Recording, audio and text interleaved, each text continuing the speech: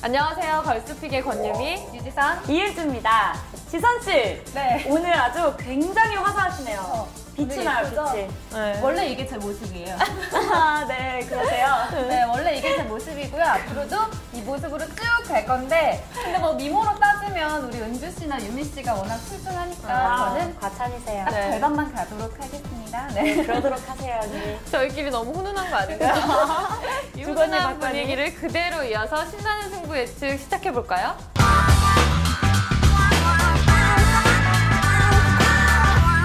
네, 분데스리가 경기인데요. 음, 어디죠? 궁금하시죠? 네.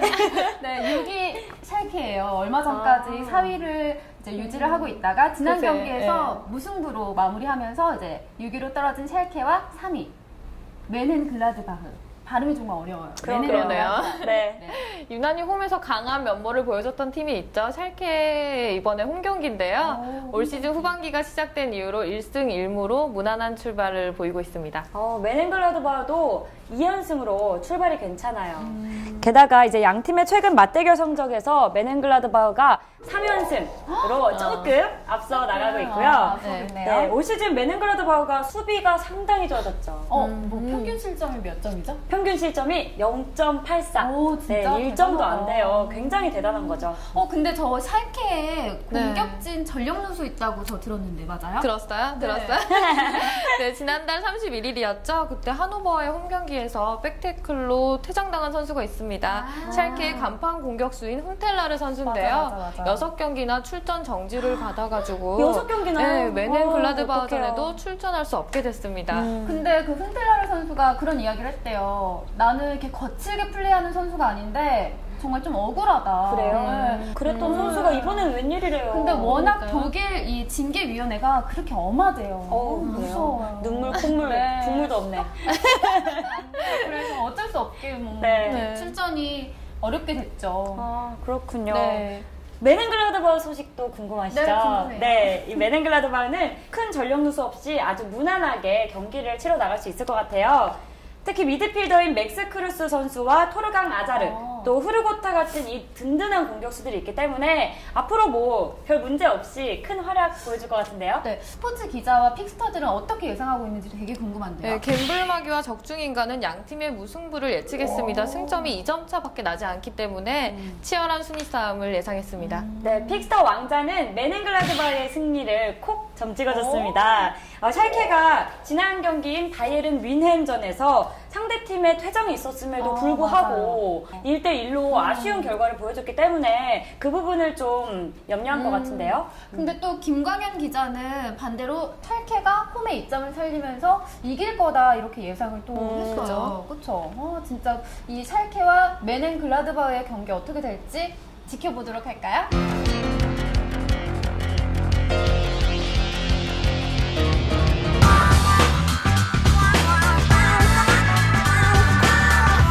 네 이번에는 북런던 더비 경기 토트넘과 아스널의 경기예요. 어우, 쟁쟁한 팀들이네요. 네. 순위도 딱 5, 6위로 딱 붙어 있어요. 네 맞아요. 그리고 지역 라이벌인 만큼 진짜 불꽃이 파박 파박!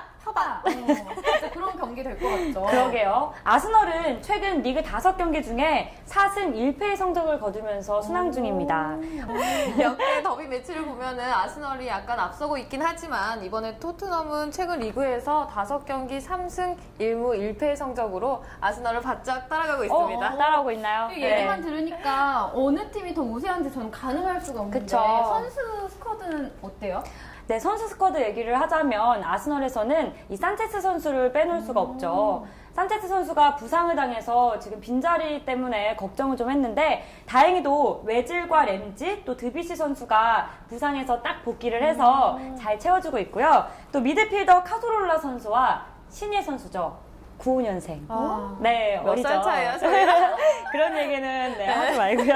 네, 벨레린 선수도 이 팀의 큰 보탬이 되고 있다고 해요. 음, 토트넘은 어때요? 토트넘도 전력에 있어서는 나쁘지 않습니다. 음. 아데바요르랑 솔다도가 부진이 있었는데 이번에 공격수 해리케인이 기량이 많이 향상되면서 원톱 고민을 좀 덜 수 있을 것 같습니다. 아. 그리고 여기에다가 에릭센 선수까지 더해져서 쉽게 지지 않는 팀이 될 것 같습니다. 어, 진짜 이렇게 얘기만 들으니까 누가 우세한지 정말 가늠할 수가 없어요. 어려워요. 그러게요. 어서 얘기를 어서 들어야겠죠? 우리 스포츠 기자와 pickster들 이야기 네, 들어볼까요? pickster 갬블마기는 토트넘의 승리를 내다봤습니다. 공격수 해리케인과 미드필더 솔다도와 메이슨이 각자의 자리에서 잘 활약해준다면 충분히 승산이 있는 게임이 아닌가 예상했습니다. 김광용 기자와 pickster 적중인간 왕자는 아스널의 손을 들어줬어요. 우선 뭐 객관적인 전력이 일단 아스널이 우세하고 또 역대 더비 매치 성적 역시 우세하기 때문에 이번에도 무난하게 이길 수 있을 거라고 예상했네요. 어, 저는 진짜 라이벌 간의 이 불꽃 튀는 전쟁도 물론 재밌겠지만 그래도 우리 선수 들이 큰 부상 없이 활약들만 많이 해줬으면 좋겠어요. 음, 그렇죠? 맞아요. 기대할게요. 파이팅!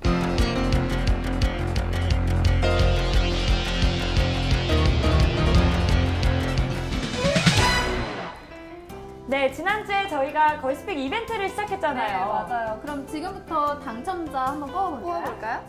네, 저는 여기 김영진 씨 선물 드리려고 뽑았어요. 응원해주셔서 너무 감사드리고요. 그리고 질문은 걸스픽 하시면서 어느 정도 맞추셨나요? 크크크 하셨는데요. 저는 한 번도 못 맞췄어요.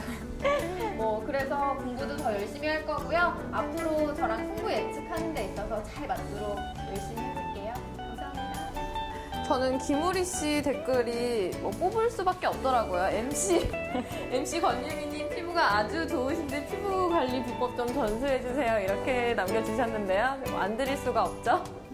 네. 제 피부 관리법은 따로 없고 제가 피부가 많이 건조한 편이에요. 그래서 물을 굉장히 많이 먹는데 어, 얼마나 많이 먹어야 되냐면 이렇게 많이 먹어도 되나 싶을 만큼 네, 그렇게 많이 먹으면 됩니다. 어, 선물은 정지인님께 드리고 싶어요. 네, 제 이름을 딱 불러주면서 응원을 해주셨더라고요. 이윤주 아나운서님 화이팅! 다들 똑부러지게 진행 잘하시네요. 앞으로도 승부 예측 재밌게 볼게요. 라고 앞으로도 열심히 봐주시겠다고 하셔서 감사한 마음으로 선물 보내드릴게요. 감사합니다. 네, 오늘 당첨되신 세 분, 김영진님, 그리고 김우리님, 정지희님, 저희 더팩트 페이스북 관리자에게 잊지 마시고요. 이름이랑 전화번호, 주소, 메시지로 꼭 보내주세요. 그리고 우리 이제 마무리할까요? 그럴까요? 걸스픽의 권유미 유지선. 이은주였습니다. 걸스 걸스 이번에 살펴보는 경기는 어딘가요? 탈퇴가 지난 경주의 경기에? 아이고, 어떡하다가 모르도 뭐. 그냥 뭐 그렇게 어. 내가 이렇게 아 죄송해요. 아니 아니